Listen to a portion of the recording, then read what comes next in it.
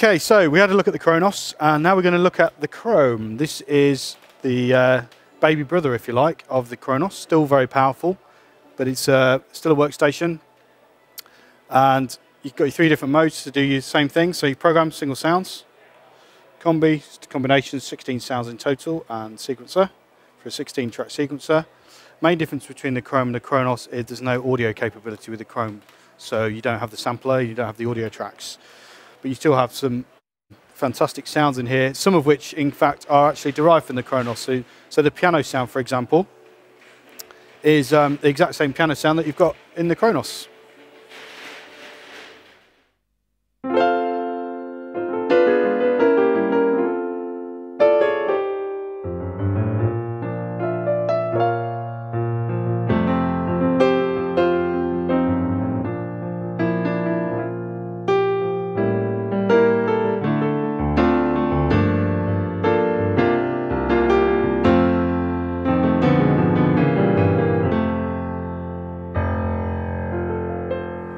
You get full length samples. As you can hear that bass note, it just sustains the same length as it would do on a regular piano because it is literally a sample of a Steinway Grand. So that's how it works. We've got nice real-time controls here. So for instance, we can add some reverb if we want to. Very easily, or if you want to kill the reverb for some recording, very easy to do so. This is usually a secondary effect. In this case, it's going to be chorus.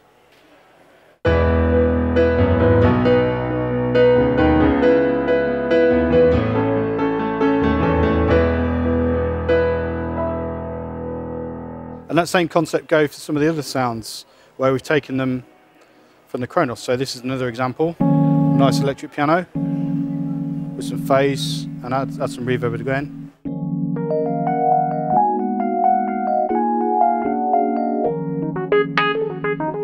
So they're very dynamic sounds.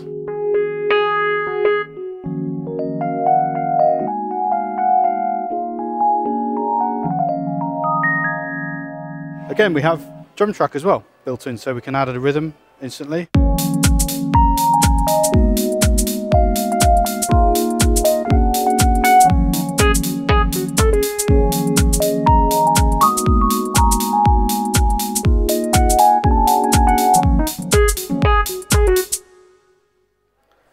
Other great sounds we've got in here, they're all in categories. So we've got categories down the left, categories down the right. So say for instance we wanted strings, just go strings, we can pick any of these different strings we want. So I'm going to go for the Arco stereo ones. Again, add a little bit of reverb.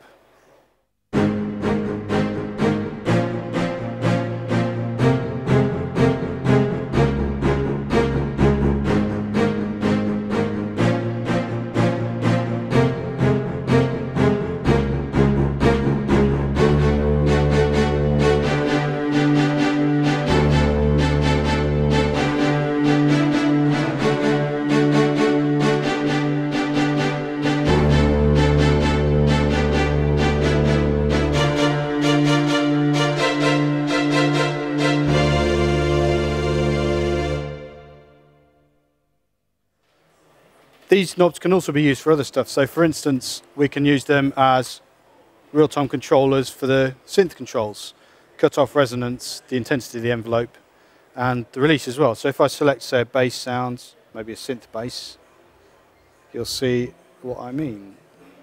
Full touchscreen, full color. Full touchscreen, yeah, widescreen. It's really nice and clear, easy to select your sounds. If I can find what I'm looking for, there it is. So I'm going to flip that up now so tone is lit, so then I can change the, the cutoff, the resonance.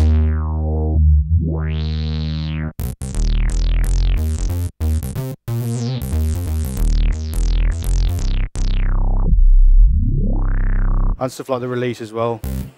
I can change very easily. And of course we've got an arpeggiator built in, similar to Karma on here, more simplified version.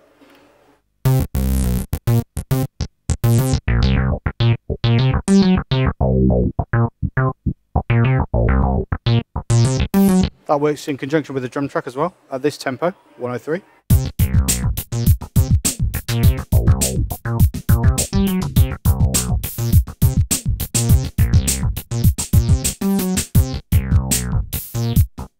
And of course I can change my tempo to anything I want, or I can even tap a tempo if I'm feeling a tempo. I can just tap it, it picks it up, then I'm away.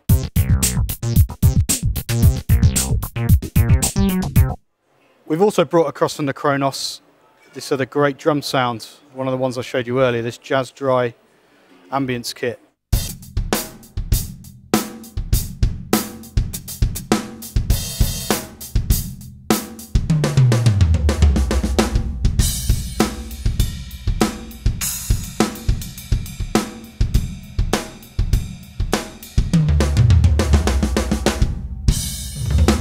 And again, we have the same idea with our faders. So we can say, okay, let's have a listen to just the close mic kit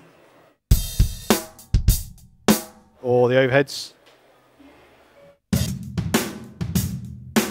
Blend them together.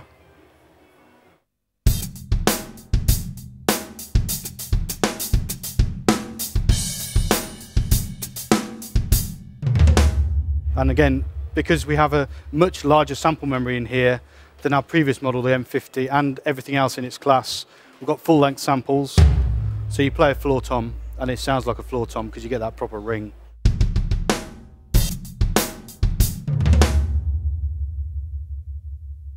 Okay, so that's program mode.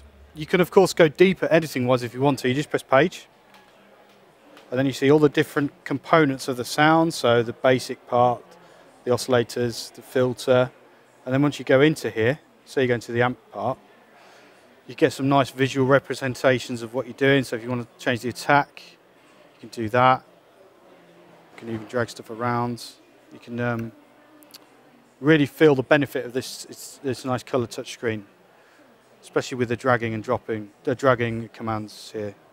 So you can just do this. Let's go into combi mode now. So combi stands for combination. It's a combination of 16 programs, basically.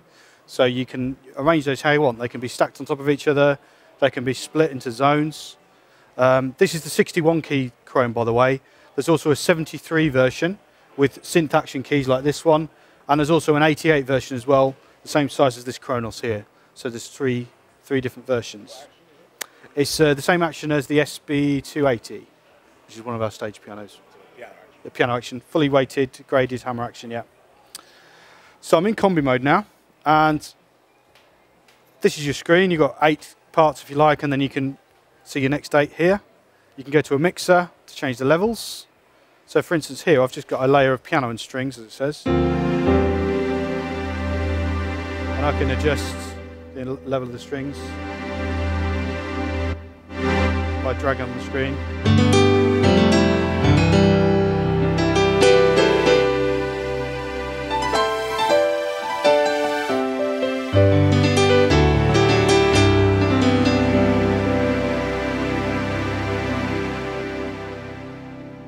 It offers me a nice control surface to do that. But also in combi mode, you can add in a drum track and two arpeggiators we now have. So that's why here we see there's actually five parts active. The first two are my piano and my strings, but then you've got a, a sine lead, which is a synth part, a bass, which is the second synth part, they're both being arpeggiated, and then a drum kit, which is the drum track. So if I turn all those on, you'll hear what's going on.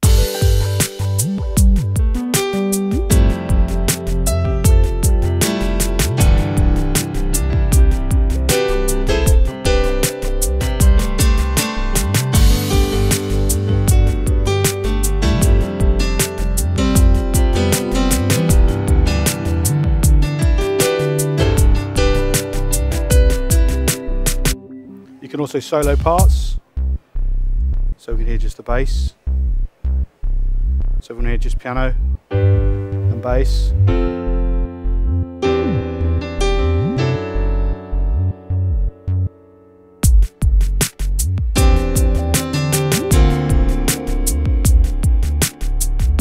So it makes this mode very powerful and flexible as well. Let's see some more examples, combis.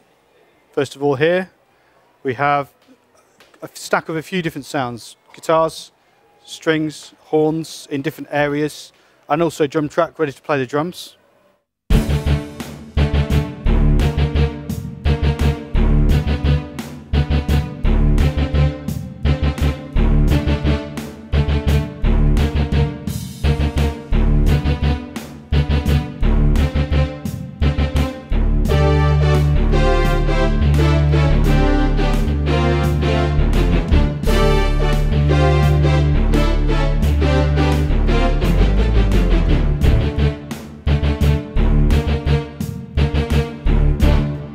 We can do that kind of performance layering.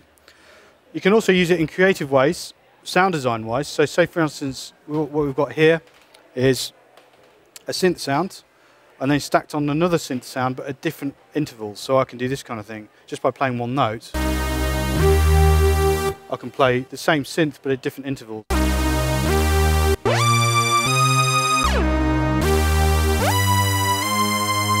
Add in the drum track.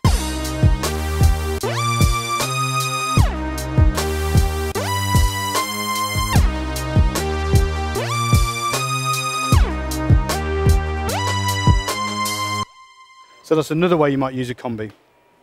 Here's a further way, using it in an orchestral context. So just like on the Kronos, you can layer loads of sounds up to 16. You can also zone and split them, and you can also velocity switch them.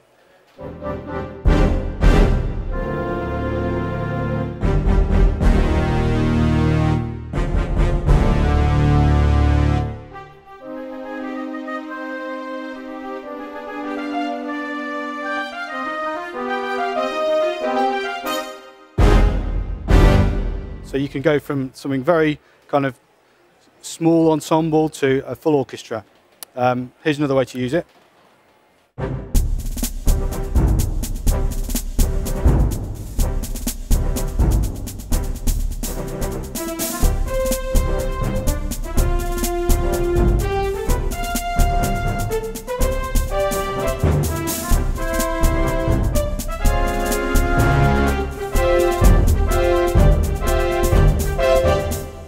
We've also brought across this quick record thing as well from the Kronos, which means at any time, program or combi, hit record. It says set it to record. Are you, do you want to continue? Yes. I'm now into my sequencer with all the right tracks armed, all the right levels, effects, patterns, ready to go. It gives me two bars in and I'm away.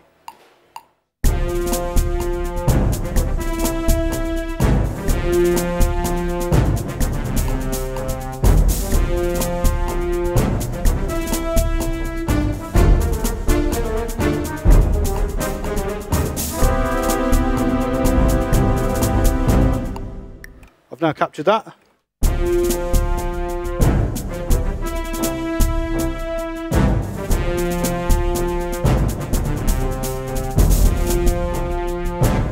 Of course, I've got all the benefits again of MIDI recording, revoicing, remixing, changing the tempo, quantizing, editing, anything I want to do. So that's one way to record if you want to capture it very quickly.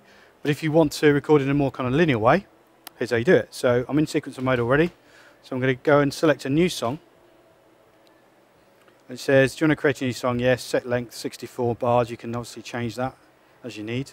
And now what it's given me is a blank canvas. So it's given me eight tracks there and eight tracks there, all piano sound, which is fine because I can go in and populate it and voice it as I need. But what I can also do is I can load a template song if I want to. And these templates, all in different styles. So pop, rock, jazz, Latin, and so on. But you can also make your own, which is great for songwriting because most people always have the favorite go-to sounds that they want to select. So what I've done here is I've actually created a new one, which is kind of like an 80s vibe. So, and I've actually split the keyboard into different zones as well. So we've got a kit down the bottom, a bass, synth, guitar, and a synth here. So what I'm going to do here is I'm actually going to create a loop by going to preferences and looping full bars and I'm actually going to turn on my resolution. Now the resolution is like an input quantize and you can set it to a note value. By default it'll be on high. So that one I just did was on high which means it will capture it exactly as I played it. But here I want it to really tighten it up so I'm going to select sixteenths or semiquavers. So everything I play will be nudged to the nearest sixteenth. Two bars in and we're away.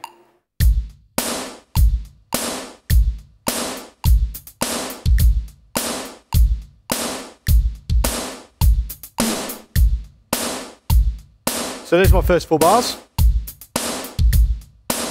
Bass line.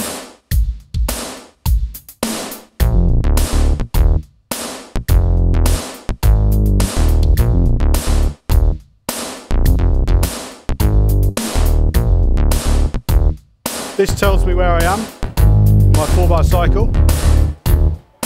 Four, two, three,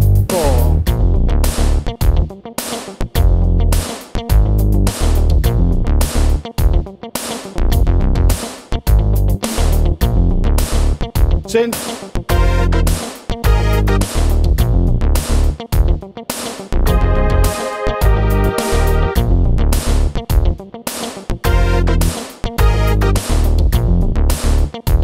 Synth.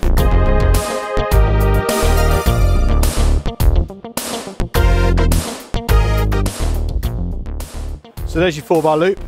So that'll just keep going around and around until I stop it. Now where the Krome really comes into its own is at the editing stage. So I'm going to press page and I'm going to go to track edit.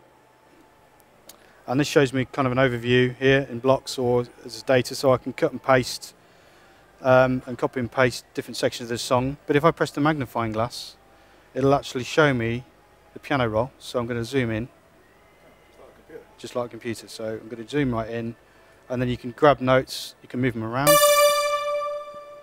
you can change velocities um, on this lane here. You can elongate notes. That's good. On a touchscreen, that actually isn't too bad, is it? No, it's pretty good.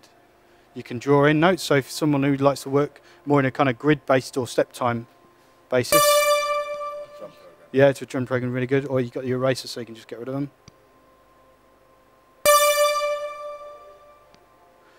And you can just grab the hand and move around as you need. What I really like as well, well also you can show drum notation. Sometimes easier when you're programming drums. And if you select the pencil, you can actually draw into this controller lane as well. So this is great for filter sweeps, uh, velocity curves like this, and you can change that to any control change number you want. So it makes it really usable. And then when you're done, you just press done. So once you've made your song, you can save it in two formats, a .seq file, which is a Korg format, um, or a MIDI file. So if you need to share it with other instruments or you need to bring it into your computer, that's easy, and you just save it onto an SD card, which slots in the back there. So that's it. So that is the Krome. Three sizes, 61 keys, 73 keys, 88 weighted keys. Um, smaller brother of the Kronos, just as powerful, um, doesn't have the engines, doesn't have the audio, but for starting at 799, it's an incredibly powerful piece of kit. So go and check one out. Okay, we're around the back of the Krome now. So this is the 61 key version, as we said. Power, just a simple stereo left and right feed. Then you've got three pedal inputs, just like on the Kronos. Your damper for sustain, and then switch and pedal, which are assignable. MIDI in and out, and again USB. So this is for connection to your computer. Um, streams only MIDI this time, not MIDI and audio like the Kronos. Uh, but it does again come with a free software editor, which you can download from korg.com, the downloads page. And that allows you to use it like a plugin as well, or standalone, just like the Kronos editor. Also, you've got your SD card slot as well, just here. So that allows you to obviously put an SD card in there, save all of your data, any songs you've got. Hi, Luke from Korg here, and we're just looking at our nice new Korg display in Nevada. Uh, so I'm going to give you a little guided tour. So uh, here's some of the products we've got. We've got some Kaoss pads, KP3, effects unit, Kaossilator Pro Plus. Uh, this is the KP3 Plus as well, so they're, they're new versions of our existing Kaoss pads. And we've got the mini KP original one there as well, all effects units. Then we got just here, the classic Micro Korg, 11 years old this year. Uh, the reason we haven't changed it is just because it sounds so great. Um, best sounding synth in that price range. Uh, it's got vocoder as well, which is really useful. And um, with its classic styling, uh, makes it ever popular. King Korg, you're going to see in one of the other videos, so we'll skip over that one. Micro Korg XL. So this is the brother of the Micro Korg. This is um, a slightly newer version, different styling, different sound engine as well. So you've got a kind of wider palette of sounds in here, as well as great synths. You've also got some keyboard type sounds, strings, organs, and things like that as well. Um, and this is the XL Plus, which is a new version of the XL. Then you've got the Krome, which is our um, works, mid-range work- workstation. Comes in three sizes, 61, 73, 88 weighted keys. Um, so, and then you've got the SV1, which this gentleman is kindly demo, demonstrating for us. So uh, this comes in two sizes as well, 73 this size and also 88 fully weighted keys. This is called the Stage Vintage, so it's great for your classic pianos, Rhodes, clavs, um, organs, and also some uh, nice synth sounds as well. And so now let's go over to the stage, and I've got some other gear on here. You can hear me playing. We've got the Krome, the Kronos, the MS-20 there, and also around the corner we've got the King Korg as well. So um, check out the other videos, and you'll hear them in action.